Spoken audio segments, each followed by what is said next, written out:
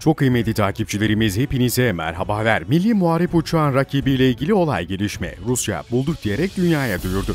Değerli izleyenler, Rusya bilindiği üzere Milli Muharip Uçak ilk dünya sahnesine çıktığı zaman MMU ile ilgili Su-57'nin rakibi olabilir yorumunu yapmıştı.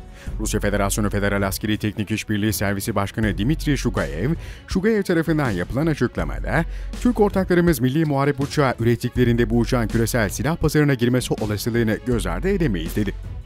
Ruk Sukhoi firması tarafından geliştirilen Su-57, hava hava ve hava yer hedeflerini imha etmek üzere geliştirilmiş, çok amaçlı bir avcı uçağı. 5. nesil savaş uçağı olarak tasarlanan ve bu kapsamda iç silah istasyonları, rem boyası ve görünmezlik karakteristikleri gereği sivri tasarımları bulunan Su-57'nin henüz motorları sebebiyle 4 artı artı nesil olduğu biliniyor. Rusya Devlet Savunma Sanayi Şirketi Rostek bünyesinde faaliyet gösteren Roselektronika Holding Su-57'lere entegre edilecek bir sistemi dünyaya duyurdu.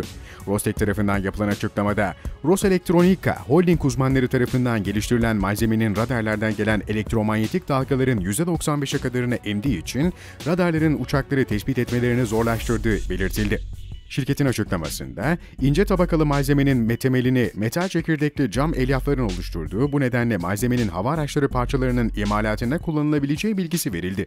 Rostek, bu yapısal çözümün ilk kez stealth teknolojilerinde kullanılmak üzere önerildiğini vurguladı. Rusların bu teknolojiyi Su-57 ve bundan sonraki yeni nesil uçaklarında kullanması ya da entegre edeceği ifade ediliyor. Haberimizin sonuna geldik.